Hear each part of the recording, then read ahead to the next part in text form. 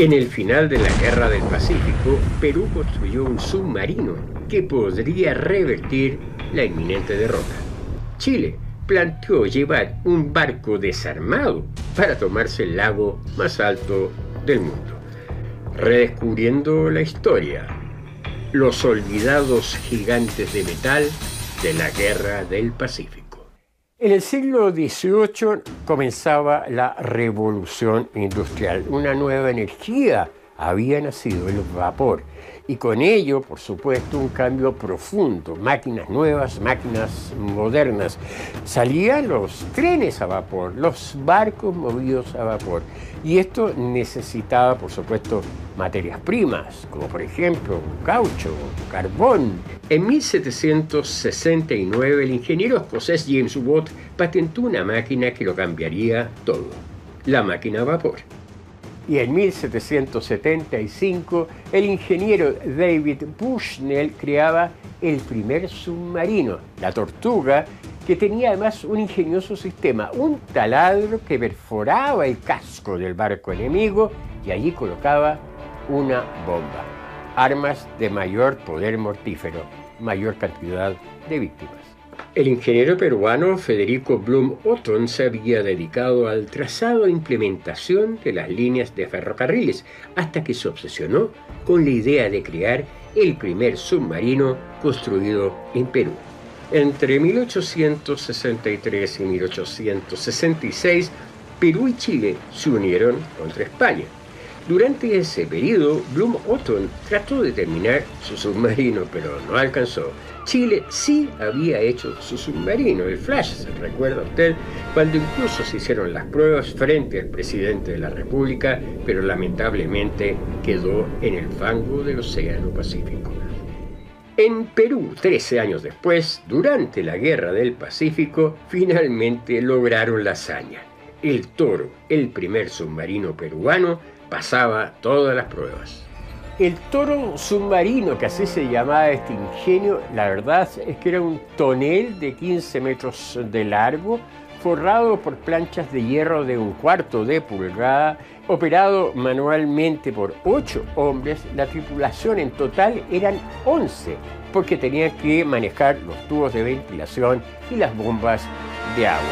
Tiene dos sistemas de snorkel, uno para entrar aire limpio y el otro para sacar el aire viciado. Esto tiene una relevancia porque es el mismo sistema que se ocupa en la Segunda Guerra Mundial en submarinos ya modernos. Su energía era un motor Otto a gasolina cuando andaba en la superficie y cuando se sumergía usaba un motor eléctrico.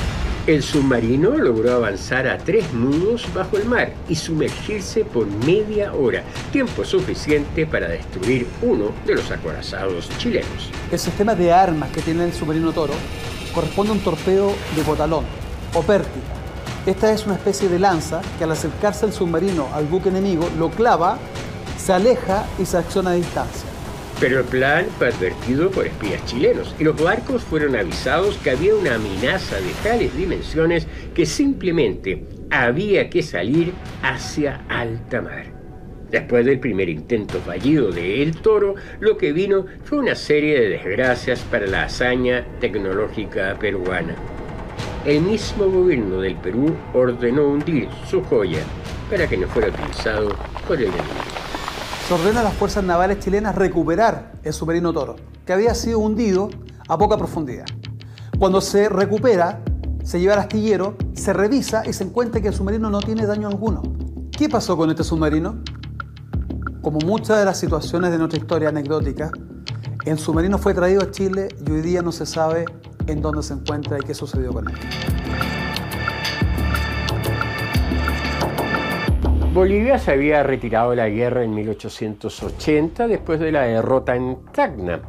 Sin embargo, eh, se mantenía la resistencia peruana en Arequipa. Bolivia empieza a enviarle apoyo militar y piensa incluso en entrar en la guerra. Ahí el presidente de la República de Chile, Domingo Santa María, ordena resolver esta situación y pide que una división vaya a Arequipa y destruya esta resistencia. El general chileno José Velázquez Borges, que había logrado conquistar los últimos puntos importantes de resistencia en Arequipa y Puno, y de un plan que parecía una locura, llevar en un tren un barco desarmado hasta el lago Titicaca y acabar con cualquier intento de sublevación. La torpedera Colo Colo había sido construida en la isla de los Perros en Inglaterra y en 1880 fue enviada desarmada a Chile. Cuando llegó a Valparaíso fue armada y lanzada al mar para la guerra. La Colo Colo era un barco con su casco de acero galvanizado de 15 metros de largo. Estaba armada con dos ametralladoras Hotchkiss y dos torpedos que eran detonados con pértigas. Además de sus ametralladoras, ¿verdad? Y los torpedos, tiene una característica especial que es su proa reforzada. La idea es que esta lancha ataque buques de la misma envergadura o buques superiores a través del espolón, destruyéndolas en cada embestida. Por su tamaño y diseño, podía ser levantada por un barco más grande y ser trasladada donde pudiera aprovechar su velocidad y poder de fuego corto. Luego de participar en una serie de operaciones militares, en 1883 la Colo Colo se trasladó por mar hasta el puerto peruano de Hilo. Allí fue desarmada, subida a vagones de tren y transportada hacia Puno, ciudad peruana a orillas del lago Titicaca. La hazaña de la Colo Colo eh, eh, merece ser recordada. Imagínense ustedes que no solo había llegado desarmada y ha sido armada en Chile, fue trasladada en barco nuevamente hacia el norte y ahí desarmada para ser trasladada por tren hacia Puno. Desarmarla, llevarla y llegando allá, armarla nuevamente para instalarla en el lago Titicaca. Realmente una hazaña increíble. La sola aparición de esta poderosa máquina de guerra en el lago navegable más alto del mundo acabó con todos los movimientos militares del enemigo. Las naves peruanas que se habían refugiado en el lago se entregaron a las autoridades chilenas y la guerra, como expresión de lucha armada, simplemente se acabó. Llegando al término de la Guerra del Pacífico, se van retirando las tropas chilenas y anecdóticamente se les olvidó que tenían a la lancha torpedera Colo Colo navegando en las aguas de Titicaca. Rápidamente tienen que reaccionar y se desarma y nuevamente se baja en tren, llega al Callao y en 1885 en Valparaíso fue desarmada definitivamente.